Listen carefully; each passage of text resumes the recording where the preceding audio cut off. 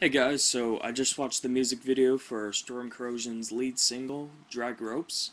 Um, if you don't know Storm Corrosion, um, they are a collaboration between uh, Opeth's Mikael and Porcupine Tree's Steven Wilson, since they're they've been best buddies since you know the Blackwater Park era, like the in absentia Blackwater Park era.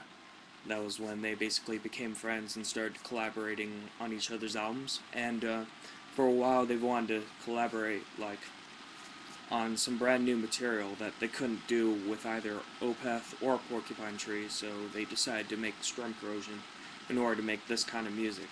Which I have to say, um, hearing the lead single, it sounds very like ambient for the most part. It sounds very, um, I guess it's more it's definitely proggy, but I mean, it's not in the same sense of like Opeth, Porcupine Tree proggy.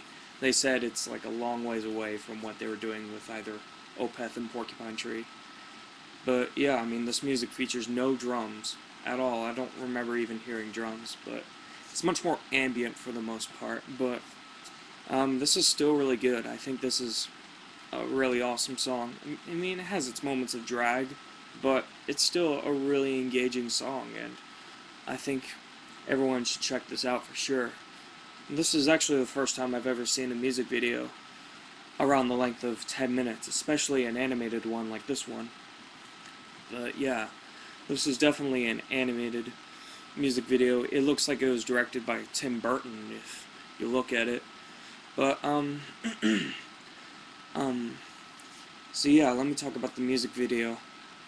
I guess it tells a story of some sort.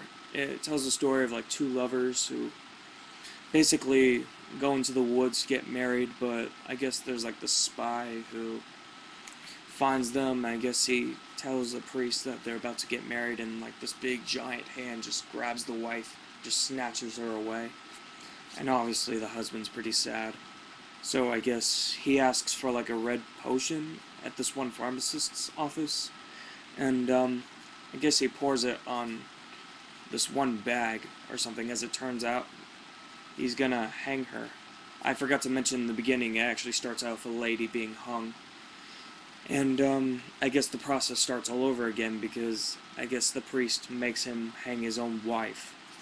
And as a result, at the very end of the music video, he just like traps the priest inside his own church and just burns him alive. but yeah, it's a very strange, very surreal music video. Um, again, it looks like something Tim Burton would direct. And I wouldn't be surprised if Tim Burton went out of his way to direct this film, or music video. it's just a very surreal, very, very strange music video, but it's still, I liked it. I thought it was really good.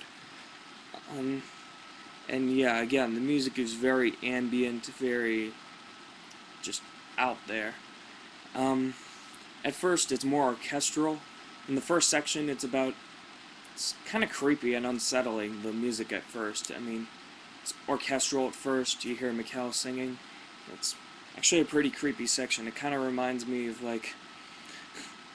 And don't laugh, but the beginning and the end of Gary Wright's hit single Dreamweaver. But, yeah, the beginning and end of that song, not the chorus or anything like that. No, but like the beginning and the end of the song Dreamweaver. It haunts my nightmares, it really does. but um yeah, it's pretty unsettling. The introduction of the song um Drag Ropes this time. The introduction of Drag Ropes is pretty unsettling.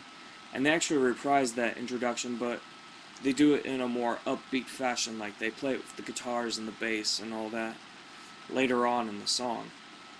And, you know, at the part where they just burn the church alive, it becomes a bit more unsettling once again. And, um, yeah, in the middle, it's actually a bit more upbeat because you actually hear Steven Wilson, like, you know, overdubbing his vocals a lot, and um, it works really well, and the sound of the Mellotron is, of course, divine. But uh, I think I'm rambling here. Definitely check out this music video. I'll send a link down below. Again, it's like something Tim Burton would direct, as I keep saying a million times, but it seriously is. It kind of reminds me of like The Corpse Bride or Coraline just fused together. definitely check it out. I'll send a link down below, and uh, thanks for watching.